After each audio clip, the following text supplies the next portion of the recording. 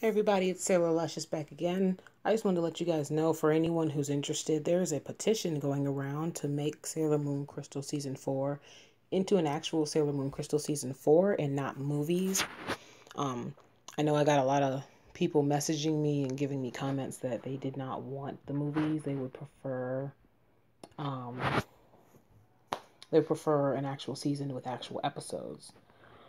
So um got about eight people on it now. If you see, this is where I am now. I'm on the site for the petition. They need a thousand.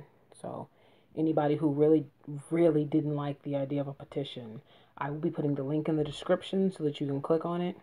I'll be honest, whether it's a movie or a series, in the end, I'm gonna watch it as long as we get it. But um, I'll be putting the link in the description. Click on it. Just fill out your information and everything and that's how you, yeah. Um, it's on the petition, the petitionsite.com. And it says make Sailor Moon Crystal season four into two episode into episodes, not two movies. So there's a lot of people on here.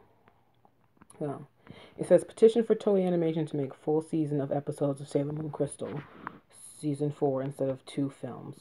The films will likely be shorter in size and not be available in a full serialized box set of episodes. Furthermore, the runtime for these movies will likely cause the plot to be rushed. Additionally, the possibility for season 5 being created in episodes drops drastically if season 4 is not animated in episodes. So, yeah. So, see what you think about that. See if you like it. And, yeah. So, I'm feeling better. And everything.